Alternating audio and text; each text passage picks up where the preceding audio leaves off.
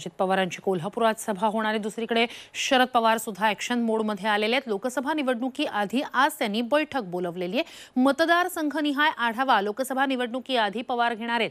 राष्ट्रवादी काँग्रेसची दुपारी दोन वाजता ही बैठक असेल. आजी माजी आमदार खासदार जिल्हाध्यक्षांची ही बैठक बोलावण्यात आली आहे. यशवंतराव चव्हाण सेंटरवर ही बैठक होणार आहे. देशात वन नेशन वन इलेक्शनची घोषणा झाली तर पक्षाची सद्यस्थिती काय याचा आढावा या बैठकीत घेतला जाईल.